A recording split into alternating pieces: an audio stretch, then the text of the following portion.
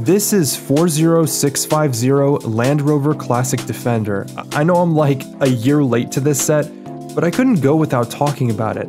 I picked this set up during the May 1st LEGO releases just because I feel like I had a little too much Star Wars going on in the collection. First thing I can think of is that the Defender really looks a lot like it could integrate into a LEGO city. I know that pretty much every LEGO City vehicle doesn't have a make, it seems like they're all debranded entirely besides the odd Octan truck or other in-universe company here and there. It's just that the scale of this set, plus the fact that it's actually part of the creator lineup and not Speed Champions just makes it sort of an interesting odd one out. I'm not entirely sure why LEGO decided not to make it a Speed Champion car instead, but my guess is because of licensing issues or maybe they didn't want to be associated with other car brands. Regardless, I still think it's cool that they were able to freshen up what they could do with LEGO cars with the Land Rover. The entire car is in a bright light orange, which is a color that I really don't have a lot of, especially not as a vehicle either.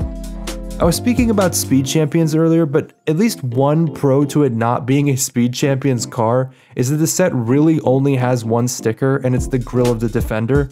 The other two headlight pieces are just tiles with printing on them. I think that it's a little weird that they decided against printing the grille, but they were okay with printing the headlights on. It's probably because of the Land Rover branding that they weren't able to print it on. I remember reading somewhere on a LEGO forum that the reason why most Speed Champion sets don't have dedicated printing is because of these car companies being able to revoke their license completely from LEGO and they wouldn't be able to legally sell or authorize replacements of parts.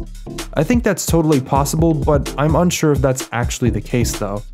Anyway, going back over to the set, I thought about storing some of the LEGO surfboards from my other sets on top of the Defender.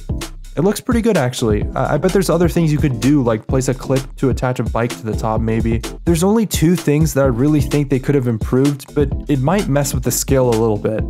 The seat being in the middle is a little weird, but that seems to be a common theme amongst all LEGO city sets anyway. I also just don't like the mirrors being clip pieces. Maybe they could have used a pearl stud or something to make that detail pop just a little bit more, but then again, those are pretty small things for a set that isn't a huge price commitment, so I can't really complain all that much. I'd say that if you're a fan of LEGO cars, I would definitely take a look at this set, but I wouldn't really expect as much detail as you would out of something more mid-range like Speed Champions with their double wide car options.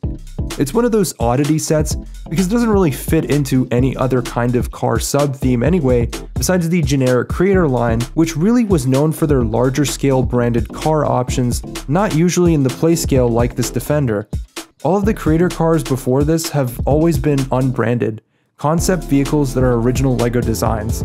I'm welcoming this change though, and I would definitely like to see LEGO do more branded car sets similar to this one. The LEGO City line could use a couple of branded sets here and there. It's only one tile plate away from being debranded too. Well, anyway, that's all I have for you guys today. I will see you guys in the next one.